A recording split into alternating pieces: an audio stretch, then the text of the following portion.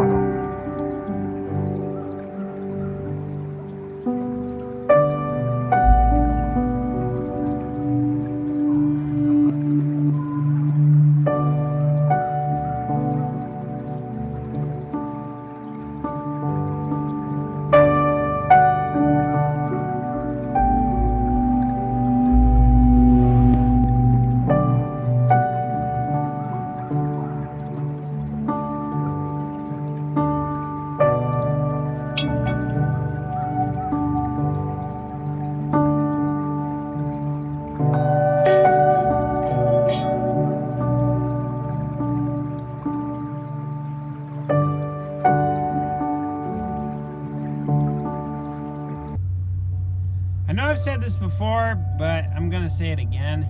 I know covering these graves or digging graves might make some of you uncomfortable, and that's okay. I mean, death is kind of an uncomfortable subject for a lot of people, but it's something we're all gonna go through at some point in our lives, and everyone we know is gonna die. So hiding from it doesn't ignore it. It doesn't mean it's not gonna happen if you just don't think about it we might as well face the facts. We need to enjoy our lives. We need to be happy. We need to reach out to everybody. We need to love everybody. Go talk to your neighbors. Call your grandma. Call your mom. You haven't talked to your sister for six years? Go visit her. Stop holding pride as such an issue. Just drop it. Our relationships are the only thing we really have. Our relationship with Jesus Christ is the only thing we can count on. That's the only way to get to heaven, guys. Just in case you didn't know, you have to have a relationship with Jesus Christ. If you don't know where to start, go to a church and talk to someone there. They'll put you on the right path and where you need to go. If you don't like church, go buy a Bible. Read the Bible. You don't even need to buy it. You can download the app on your phone. Just start somewhere. God is good. Jesus is all about love. It's all about loving Jesus. That's all a relationship with Christ is. Don't make it more complicated than it needs to be. Jesus loves you, each and every one of us. He died for our sins. None of us are perfect. None of us ever will be. There's only one way to get to heaven, and that's through Jesus Christ. Don't forget that, guys.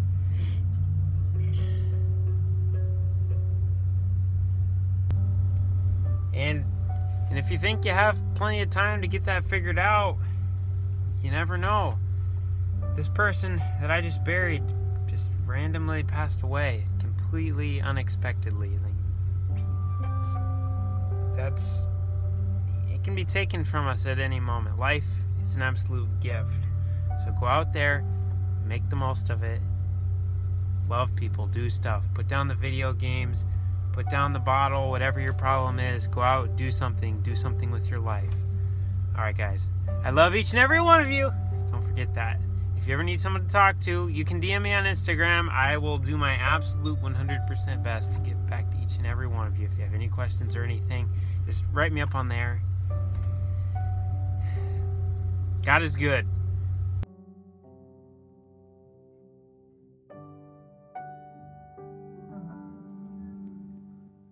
Oh boy, can't be wasting electricity like that. As you can clearly see, we still have some snow. It's supposed to melt today, so hopefully it doesn't make too much of a mess. I really like how pretty it looks when there's a whole bunch of snow all over stuff, but it's not very fun to work in. Dad should be around the farm here somewhere. Let's see if we can find him. Ah, as you can see, we got some carnage of harvest so far. Got a bunch of little bees wings everywhere. Augers are still looking good. Let's knock on some wood real quick. We don't have any corn piles yet. Wow, this is an absolute first. Let me take that back. We got a little one. I ran the dryer till about 11 o'clock last night. The hopper bottom got empty and this bin just about got full. So I blew air on it all night. Now we're unloading it into the big machine shed. Then when we get started here later, we'll run corn into here while this bin's emptying out. Dad, where you at? Hey, there you are. Here we go, guys. Corn Mountain.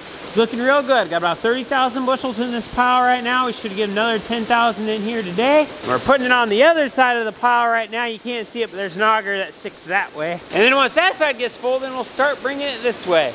Right in the middle of the rafter here, there's an auger system, so we can turn that on and it starts pumping it this direction. Pretty simple in theory, but well, it's pretty simple in general. Corn Mountain's gonna be fine for a little while by itself. We're gonna run down to the main heated shop. We gotta service a couple things on the combine, then we'll pull it out and we'll get to combining. It's been a few days since we've been in the field. We got snowed out, we got colded out, we got broken down out, we got out. wow, I think Cooper actually might have done some cleaning here in the shop. Still got a bunch of trash though. Hey Dad. Yeah. Do you feel sorry for what you've done? No, I don't, was stiff and cold last night. I thought we were done with this. We got a new hydraulic pump put on and there's a little grease zerk in there that we need to find so we're gonna spin the engine so it gets lined up with that hole. We'll fill it with a bunch of grease. Then we gotta check a gearbox for its oil level. She's greased and ready to go. Combine brought it in, the combine can take it out of here. Can't say I've ever driven the combine on snow before, and I don't really like the idea of it.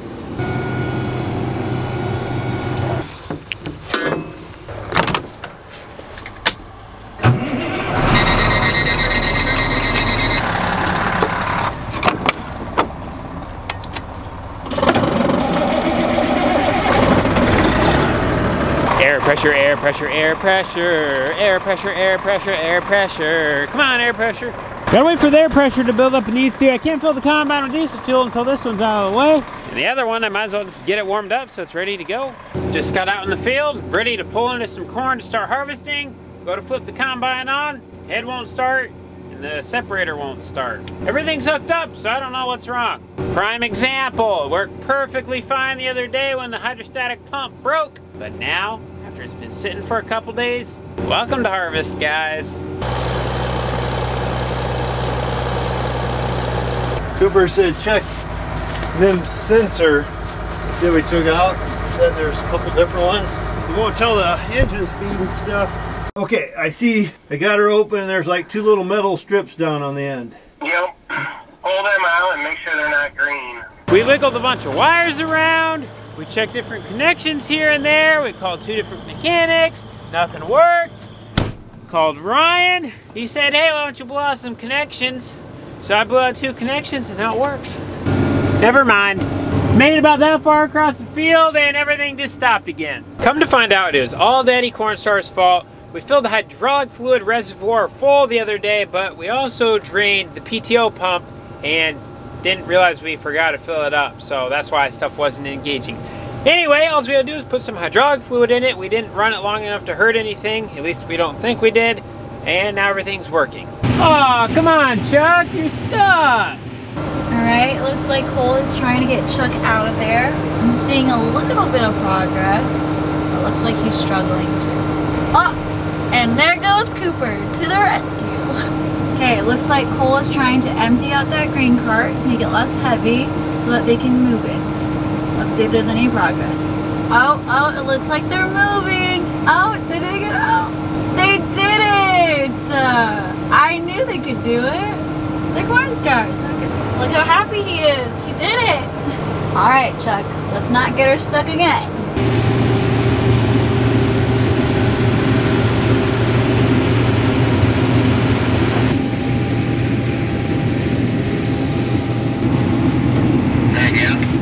Raccoon, you do not understand how lucky you are. They're just lucky Neva's with me. Yeah.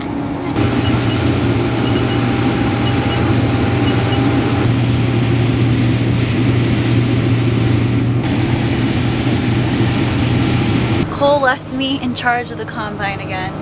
Just kidding. He just went out to go fix something and I took over his camera because I'm bored and I'm in here all alone and it's cold and I don't know what else to do. So yeah, we're farming. You wanna know my favorite part about farming?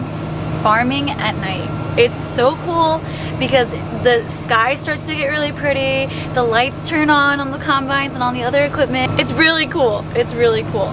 But anyways, let me show you guys the sky and look how cool it is with all the equipment. And there, there's Cole. Say hi, Cole. I just wanted to show you guys that we're farming. how cool is this?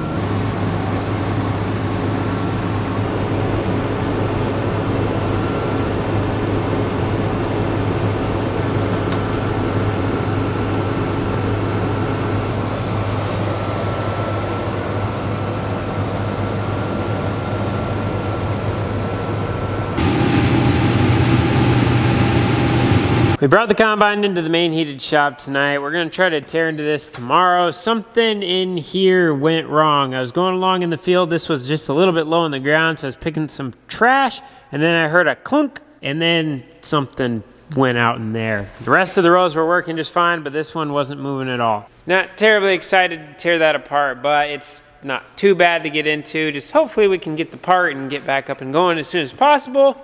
But that's how farming goes. We have breakdowns, and it doesn't matter if it's red machine, yellow machine, green machine, black machine, white machine, gray machine, whatever color machine, they all break. This year, we've just been having one of those days every day. We got a lot of stuff we got to do before we can start combining. Well, not really a lot, but we got stuff we got to do.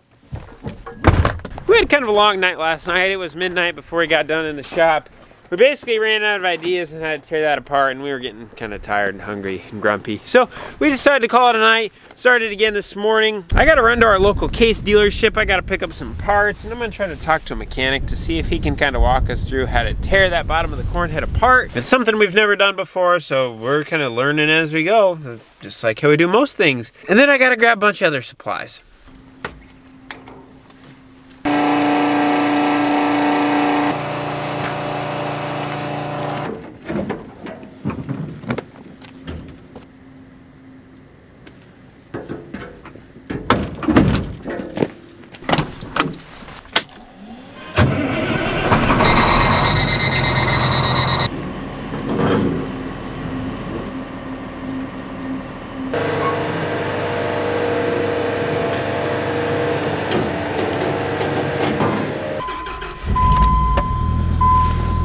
Got everything fueled up, greased up, checked out, ready to rock and roll, and then started to start spitting.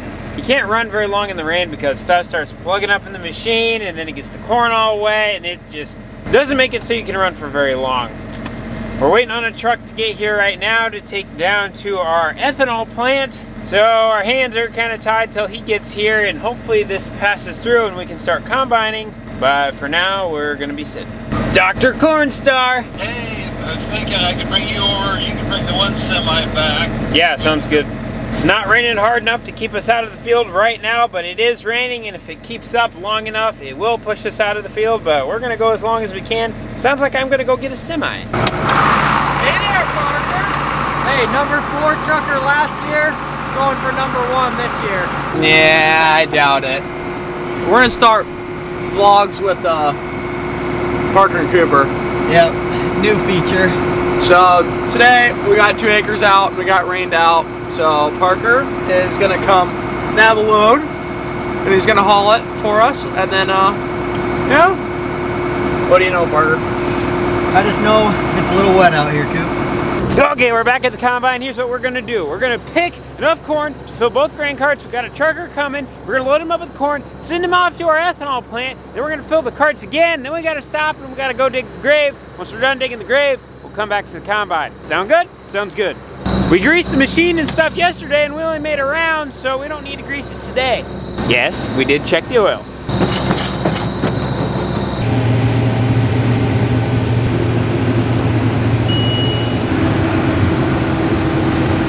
I'm full. I guess two semis pulled in, so now we're gonna be filling two semis, then the carts. So technically we're gonna be picking three semis worth, then we're gonna go dig the grave.